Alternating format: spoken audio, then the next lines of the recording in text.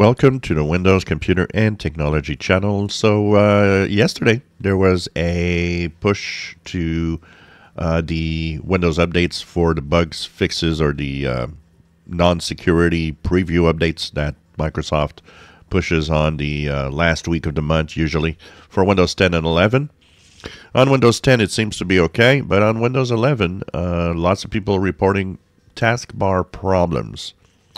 So once this is installed, what happens is that there is a uh, the taskbar might actually disappear. It might uh, not respond for a few seconds or to a minute, uh, reappearing automatically at some point. And um, when you look at the uh, um, event viewer, actually it, log it logs that there's a problem with um, Explorer.exe um, and taskbar view.dll. So uh, they are the problem right now with this update.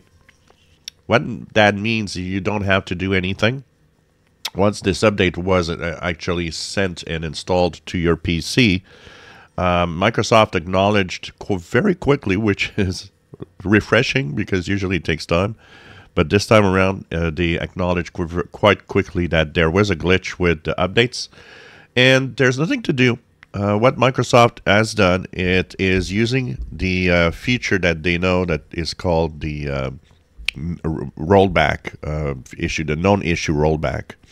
So what they do is that they uh, are simply removing the part of the update that glitches and has problems. So if you had that issue, you don't have to uninstall it but they do say it could take up to 48 hours for the known issue rollback feature to take effect on all PCs.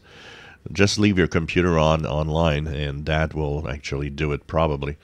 And uh, they actually are fixing it. If it's too annoying, you can remove it if you want. You can remove the update, but they are doing it automatically with the known issue rollback. With also, this is good because it means that the next Patch Tuesday cumulative update the problem could have arisen if you um, you know were installing this update with the security updates in June.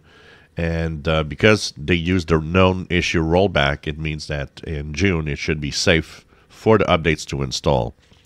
So it's Windows 11 only, but if your taskbar is glitching, freezing, disappearing, and magically reappearing, um, it should be fixed within a day or two um, by the known issue rollback. If you have the problem, you can also, you know, check to remove the update. But uh, Microsoft acknowledges and has taken uh, the known issue rollback to stop the problem. If you enjoy my videos, please subscribe, give us thumbs up. Thank you for watching.